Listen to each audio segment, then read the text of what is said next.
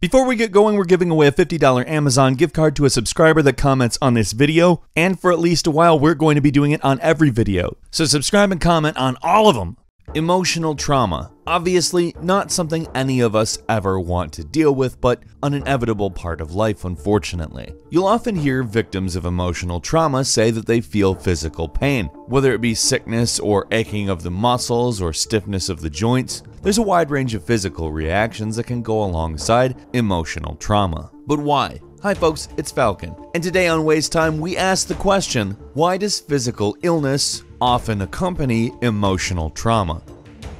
In order for this to make sense, we have to explain the limbic system, a system in the brain comprised of a set of brain structures that don't actually form any specific system itself, but rather a combination of systems that all work towards several specific functions. The limbic system is responsible for emotion, behavior, motivation, long term memory, and smell. Not like whether or not you smell good or bad, but rather what you smell. Parts of it also regulate various chemicals and can stimulate an interface with basically every part of your brain, including the central nervous system. The nervous system will actually work to attempt to mirror what's going on with the limbic system. And no, not one to one, it's literally like I'm going to do exactly the same thing the limbic system is doing. However, they work in a sort of symbiotic manner, for lack of a better word, being they're part of the same organism. You wouldn't really call two parts of the same whole sympathetic to one another on account they are not acting independently. And it's not necessarily because specifically that lack of independence they act in a coordinated manner, but obviously we have to talk about these systems coordinating with one another,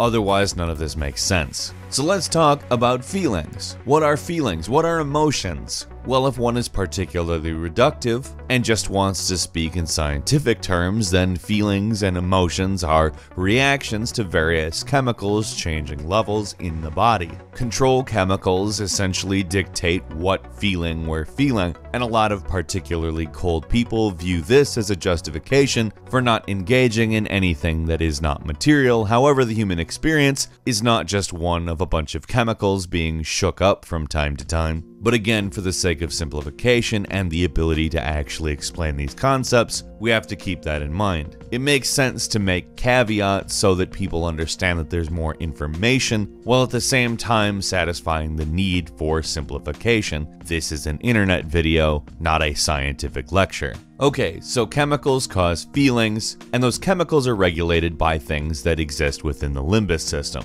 So let's again simplify. Let's say physical illness is specifically feeling like you have to vomit and or possibly actually vomiting. The part of the brain that would specifically cause this is called the hypothalamus. Now the hypothalamus is essentially the link from the nervous system to the endocrine system. The nervous system being the system that interprets all signals that are transferred back and forth, basically to tell your body what's going on with itself and the surrounding area. The endocrine system is the system that releases hormones into your body. When your body has a certain amount of blood sugar, the hypothalamus will tell your body that it needs to excrete a chemical that will make you feel hunger. This will make you crave food. But as you can imagine, this system of signals and the way that it interprets these signals and the way that it excretes hormones can also produce different results. Let's say you're in a situation that produces an incredibly high stress level. All these systems will react and release cortisol into your system, which is a chemical related to blood sugar and insulin and those types of things that will most likely make you feel sick. But that's even a more specific reaction. If we generalize back out to the limbic system, there exists a possibility of an overload, again for lack of a better term. Let's say your body goes through such a shock,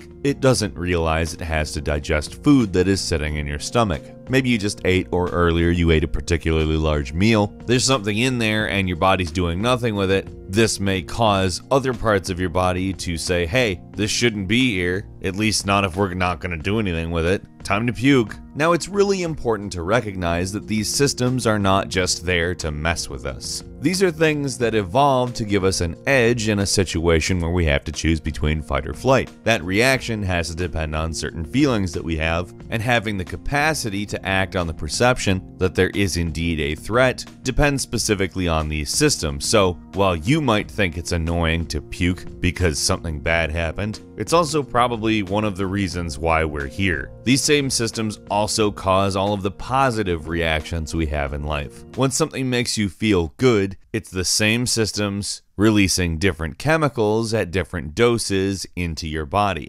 Basically, to simplify, the limbic system, while interfacing with the nervous system, may kinda just nope out of everything. We oftentimes don't take emotional trauma as seriously as we should, on account we have bodies that were evolved to literally react in a way that preserves our survival. If our body is doing something as a result of emotional trauma, it's much better to pay attention to than to try to act as though there's nothing going on. That's not to say these are perfect systems. One could easily say that the ability to faint is not the most sought after talent among people, but the fact is, our ability to faint is something that can protect us from severe pain. For instance, if there's no time to use an anesthetic and an operation needs to happen, you may end up just fainting because holy hell, everything has broken loose. It's not just physical trauma you experience from a surgery like that, there is an emotional trauma associated, and your body itself can say, hey, we can't stay here for this, we need to check out. This is too much. You could easily say that the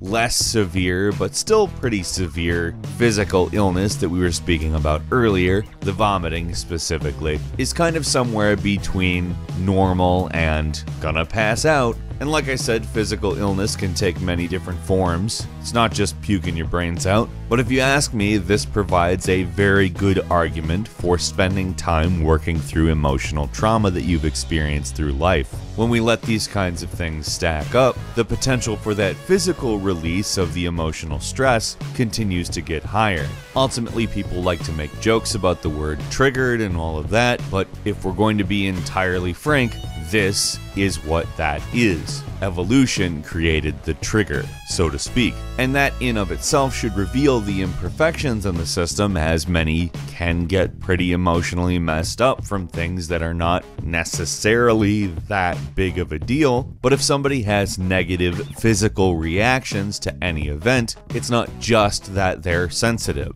That's not how that works. And again, who are we to define emotional trauma? PTSD can be caused from quite a few different things, and if the reaction is physical illness, and we, scientifically speaking, actually do know why, it makes sense to apply this knowledge and attempt to make the world better. Because we're never going to be able to stop trauma for certain. It's going to be something that follows humanity around for the entirety of its existence. So it would make sense to understand it. If you have anything to add, please do so in the comments. If you like this video, please click like. And if you're not subscribed, now would be a great time to do so.